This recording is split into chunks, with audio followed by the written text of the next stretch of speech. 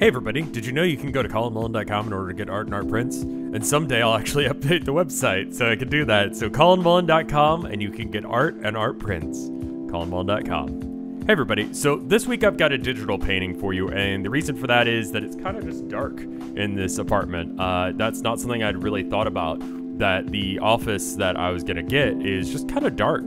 Even with the lights on, it's just kind of the same brightness all day. So rather than try and do a really low light painting that wouldn't look very good, I decided to do a digital painting and order the supplies that I need for an actual good painting setup. Finally, something I've been promising you guys for years, or you know, a year, I guess. Uh, we've actually been able to move out, and uh, things are financially stable enough that I can do that. So thank you guys to the people on Patreon for doing that for me. If you want to join them, uh, there's a link down in the description. I'll, I'll, I'll talk about that more later. But let's get into this week's topic, and it comes from Karma Coma on YouTube. First off, thank you for commenting. They ask.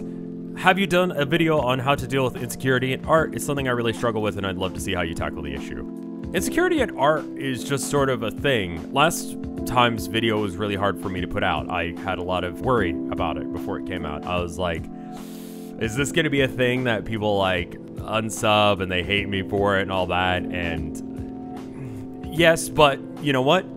The world kept spinning and it was something that I felt like I needed to do. It was a video that I felt like I needed to make. Um, so I think one of the best things you could do is realize a couple of different things. And I feel like I've done this video before, but I can't find it. So we're just going to do it again. And I think that's the way I'm going to do videos from here on out. Is if I can't find the video, then we're just doing it again. Anyway, um, one of the interesting things about art is I don't know how long it takes for you to do a piece of art. For me, it takes a few hours. For me to do a completed piece that I'm happy with, it'll take me like four to six hours, depending on, you know, how complex it is and how, you know, well I sketched it out in advance and all that jazz. It'll take me a while. And usually I do it in like fairly long sittings. I'll sit there for like an hour or two and I'll just do it. After a while, you start to get worn out, you start to get tired, and then you you start looking at it, you're like, man, this sucks. Like I hate this. I really hate this. When you get to that point, you need to like stop. You need to stop doing the art for a minute. You need to stop doing art for a minute. You need to go do something else. Um, after like a, an hour or so of doing that, or whatever your time frame for doing a completed work is, like uh, once you start to get to that point where it's just like, God, I hate everything about this. Stop, walk away, go do something else. Go play some video games. Go so, play some music. Go uh, do whatever we're able to do in early 2021 that allows you to walk away from your art for a minute and come back to it later, like a few hours later. Um, sometimes I'll just stop for the night and I'll just like come back the next day and then I'll look at it and I'll be like, okay, it's not that bad, but it, it needs to be fixed. And that's one thing that really helps is that you start to get tunnel vision on all of the bad things about it and you don't see any of the good things about it. And sometimes you just make bad art. And that's not an admonishment on who you are and what you do sometimes you're to make bad art. All of these famous artists and painters and musicians and all that, they're all well known for a handful of pieces that we all know them for, and they're great. They're wonderful pieces, and it's super cool that they made them, but we don't ever talk about the bad ones. We don't talk about the ones they destroyed. We don't talk about the songs that weren't ever played onto a record because they were just like, this kind of sucks. We're not going to go with that one. We're not putting this one on the record. When people come up to me and talk to me about YouTube videos that I've done, there's usually just a handful that they come up and tell me about. They're like, oh man, I really love your such and such that you've done. And that's because people remember the good stuff, but not the bad stuff or the mediocre stuff. And the same thing with art. Like, people ask for very specific paintings consistently. They'll be like, do you still have this one? Certain ones will sell more on the print shop than others. If you could think of like three pieces of art that I've done outside of the one you're watching right now, which ones? I, I can guarantee that it's the same list almost with everyone that is watching this video right now. And with maybe a, a, slight amount of variation. Because it's easier to remember the good ones and not the bad ones. You know? It's not the last time you're going to be doing art. You're to do art again. And if this one sucks, then okay. Then you have a downhill climb to be able to make a better art the next time. Because all you have to do is make something better than the last one. And the last one apparently sucked, right? learn things from what you're doing. You're gonna make mistakes. There are drawings and paintings that I've done that I'm like, okay, well, this kind of sucked, but I liked really, I really, really enjoyed this element, and I wish I could fix that. I, I think I talked about that in last week's video. I'm gonna just link last week's video so you guys can watch that because it was a good one, and it talked about a lot of the process that I, I did over the year doing my paintings. Um, I'll do something bad, and then I'll go, okay, but there are these good things about it.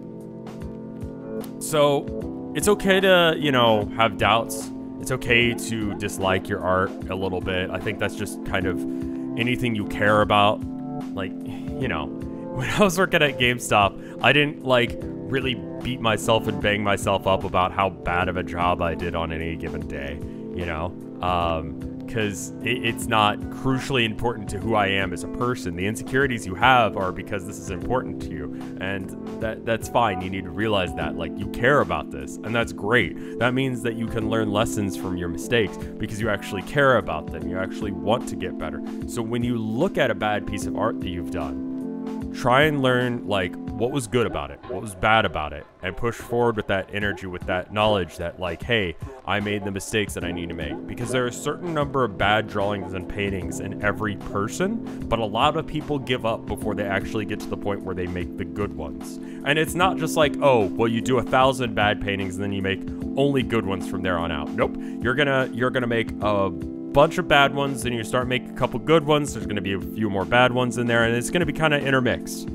And eventually, you kind of figure it out. So, if there's a lesson here, the insecurity is because you care about this, and that's great. Um, but don't let it hold it hold you back from what you're doing. Realize that that is just you realizing that there are issues with your art that are fixable. Try and figure out what those things are. Step away from your art every now and then.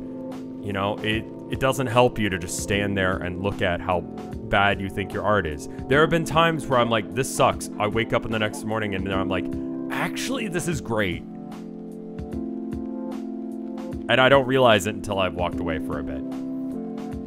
Hopefully this was helpful. Um, if it wasn't, let me know. If this wasn't really what you're talking about, let me know. And hey, you watched until here, so maybe throw me a subscribe. And, you know, if you really like this video, uh, you can go to patreon.com slash revscarecrow. And if you uh, donate at least $5 or more, you can get into the Discord. And I'll also say your name into the uh, credits of this video, like I'm to do with Wapfu. Thank you, Wapfu. Thank you, Top Houndor. Thank you, Tina Kill. Thank you, Targo. Thank you, Spencer Kane. Thank you, Orthogonal Caster. Thank you, Mortibus. Thank you, Micah. Thank you, Maliciousness. Thank you, Lost Nevada. Thank you, Kayla Hollinger. Thank you, Katana Squirrel.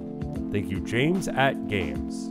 Thank you, Gala. Thank you, Duxu. Thank you, Dragon. Thank you, Demetrius Gazgales. Thank you, Chiptune Glitch. Thank you, Bubba Fair. Thank you, Bep. Thank you, Andy. Thank you, Amber. Thank you, Ants! New apartment, so I had to make sure that I actually like, recorded this during the daytime rather than at night or in the morning like I used to in the other place. Anyway, I hope you guys enjoyed this. Let me know if you did. Let me know what other stuff that you want to talk about. Uh, and I, I, can give my opinion on. Uh, just be kind to yourself. Just do that. Yeah, be good to yourself. I'll see you guys in the next one.